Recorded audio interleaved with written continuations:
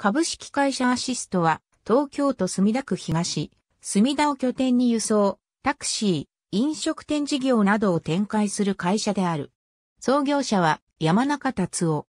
1997年、初の利500円のワンコインタクシーとして事業開始し、開業当初の車両は松田デミオとトヨタファンカーゴを使用していた。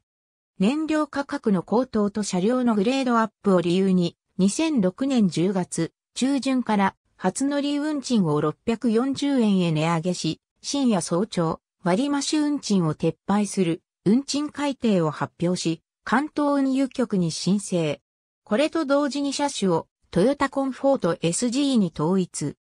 初乗り運賃の値上げに伴い、同社タクシーのシンボルであった屋根の500円玉マークのアンドンは撤去され、黒字に緑文字のアシストのアンドンに変更した。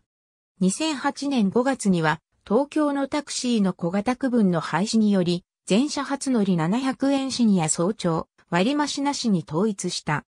同年9月には有限会社ドリームインキュベーターと業務提携し、料金、無線、車両をアシストと共通化してグループ会社として営業を行っている。2014年4月の消費税率変更に伴い、初乗り運賃を東京地区標準の730円に改定。現在の主力車種はトヨタプリウスとなっており、他にはコンフォート SG、車椅子スロープ付きユニバーサルタクシーの代替として導入されたトヨタクラウンコンフォート L キャブ仕様が在籍している。